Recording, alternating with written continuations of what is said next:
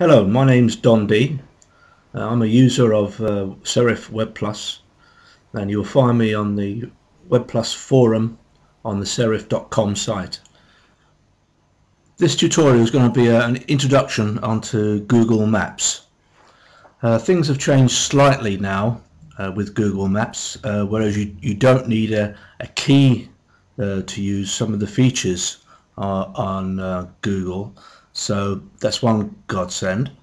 And the other is that uh, now Google uh, within Web Plus goes through, it uses JavaScript rather than going through the SWR.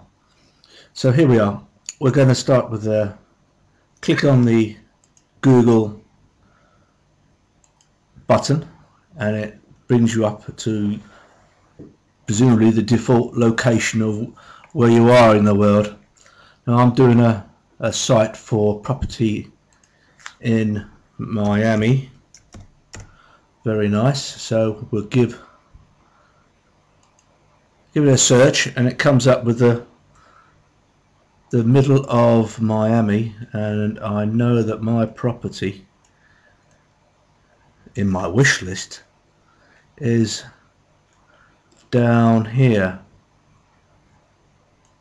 just down here on this on this road just down by the beach here. So what you can do you can add a marker to this uh, to this map. By clicking add brings you up in this window. And then you get a cross here as the cursor. All you do is literally click on the map where you want the mark to go. Just there. And then here you can put your label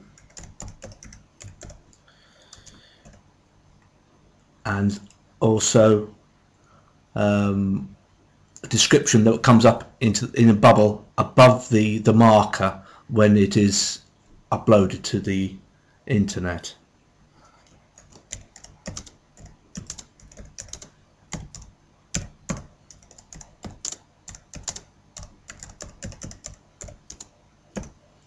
Right, there we go.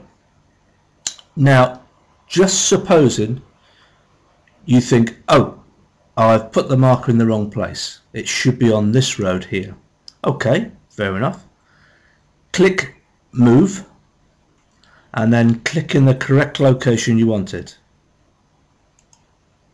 And the marker jumps to that location. Dead simple, dead simple. So, happy with that? Okay. Right. Now, we want um, another marker for another property.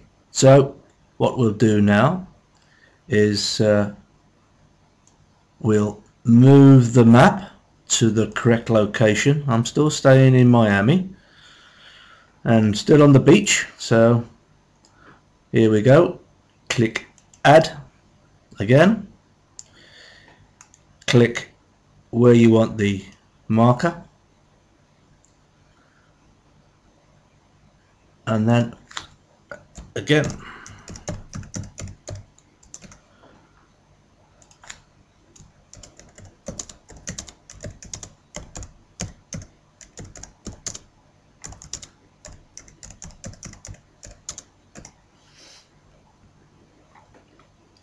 And OK out.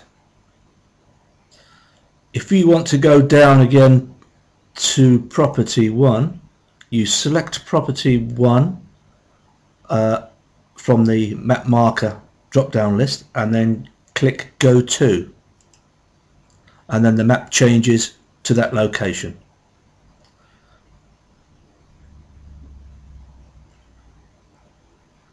And of course you can remove markers, select them from the marker um, drop down list, click remove and it's gone. Um, if you want to edit a marker, you select it and I edit property 2, click edit and it brings you up to the correct marker where you can change any of the uh, the bits and pieces there. so okay and then when you're finished you can have as far as I can as far as I know you can have as many uh, markers as you like. Navigation controls here. You can you can select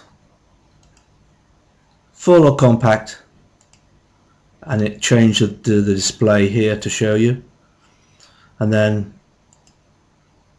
map type menu there we go we change that to that. You can have show street control or or not. And enable mouse wheel zoom.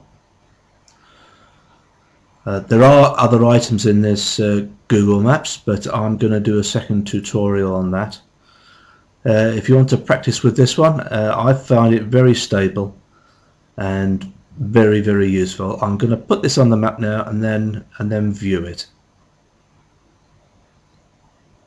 so OK and then click and drag on the map on the, on the page where you want the map. Now you can see it there. And these are my, for my luxury holiday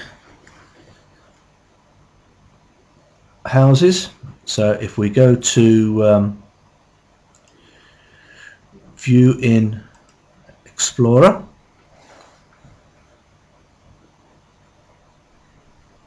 here we are in Explorer. And here's the the map. Uh, click on the marker. And it comes up this is the location of property 1 so obviously you can put in whatever you like there. Um, if you're into um, HTML you can add pictures to this which I'm going to cover in a second video so that's it for the quick um, look at Google Maps I hope you enjoyed it and I'll see you shortly. Goodbye.